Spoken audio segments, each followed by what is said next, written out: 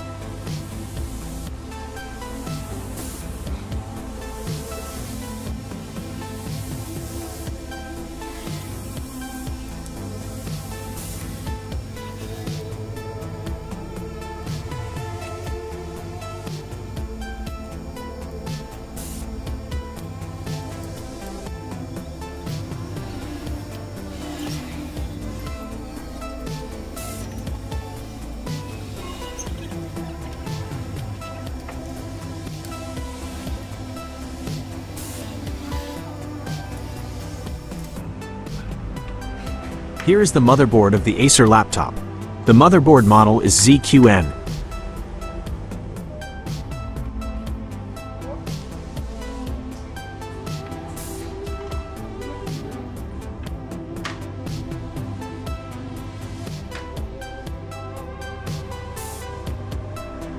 Let's test it again. We connect it to the power supply.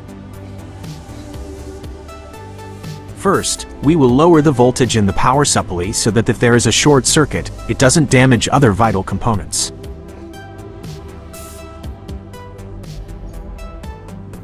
The voltage in the power supply doesn't drop and shows no current. Let's increase the voltage.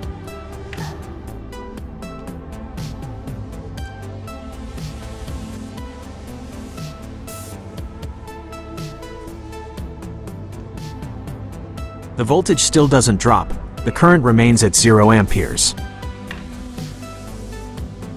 Okay, we will connect the devices that we removed earlier, such as the hard drive, child board, Wi-Fi card, keyboard, and others. We will try again later and see the results.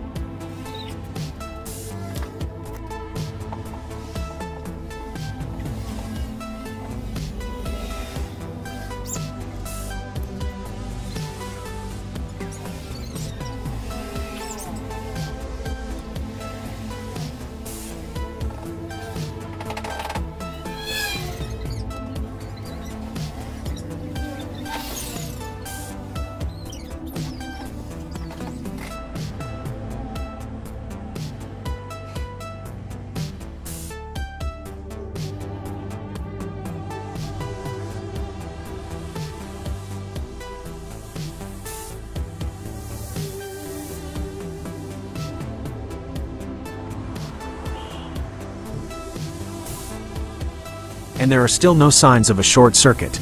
Even the laptop can be turned on normally. This means that there is a possibility that the problem with this laptop occurs when the battery is installed. Let's check the voltage at the battery port first.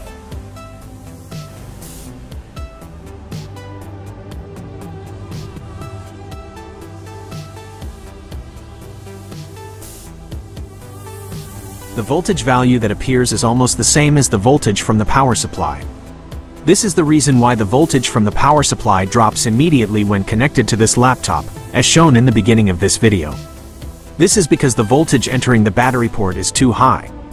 Under normal conditions, when the battery is not installed, the voltage value at the battery port is only a few tenths of a volt. Let's continue the analysis. Let's check if the charging MOSFET is damaged.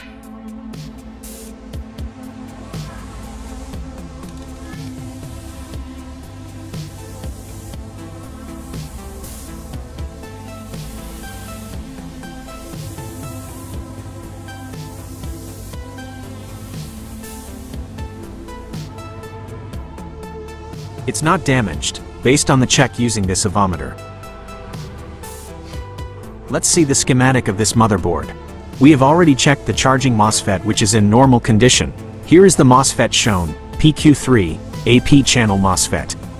We have already checked the voltage at pin 5 of PQ3 which is the same as the voltage at VIN, 18.5 volts. Then the voltage at the gate pin, pin 4, is around 5 volts. Of course, this 5 volt voltage is what causes the PQ3 MOSFET to be active, consequently the voltage at pin number 5 which is directly connected to the battery port becomes the same as the voltage at pin number 1 or the V in voltage. Now we need to know where the 5 volt voltage at the gate pin comes from. And below we can see an N-channel MOSFET, PQ5. From the previous check, the voltage value at pin 3 of this MOSFET is around 3 volts, even though the voltage at its gate pin, pin 2, is 0 volts. Under normal conditions, if the voltage at pin 2 is 0 volts, then the voltage at pin 3 will be almost the same as the voltage at VIN. Because pin 3 of this MOSFET is connected to V in through these three resistors. So the voltage value of 3 volts at pin number 3 indicates that there is a leakage on this PQ5 MOSFET. Between pin 3 and pin 1 there is a leak, so this MOSFET works as if it were a resistor. As a result, it causes resistors PR23, PR24 and MOSFET PQ5 to work together as a voltage divider. This is what causes the voltage of around 5 volts to appear at pin 4 or the gate pin of MOSFET PQ3. We will discuss this in more detail in another video. Now we know the damaged component, which is the PQ5 MOSFET. And we will replace it with a normal one.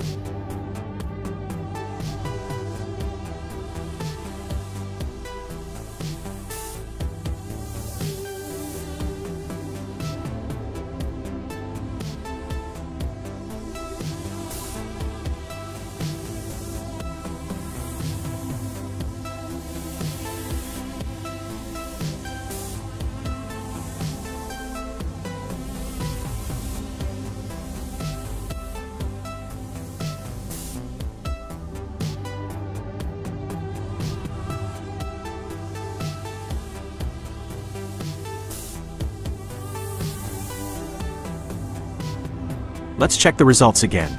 V in 18.5 volts. Voltage at battery port is 0.8 volts.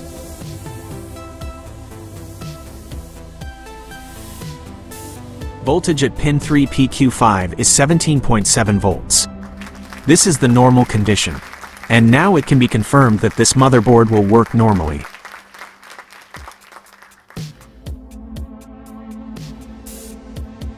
Let's test it first, with the battery installed.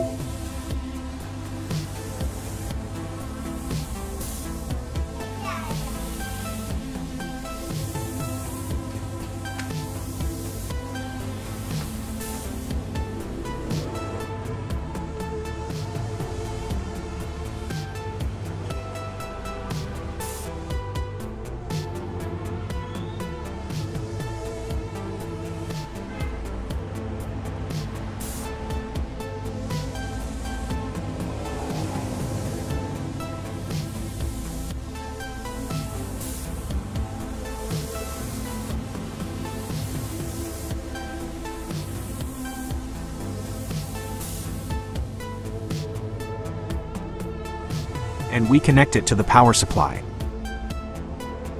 Now the voltage in the power supply doesn't drop anymore.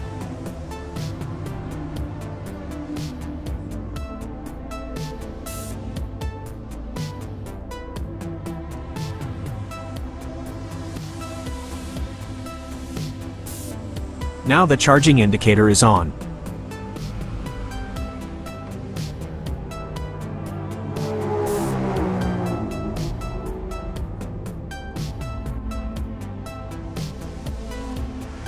And the laptop can be turned on normally. The monitor screen shows the charging.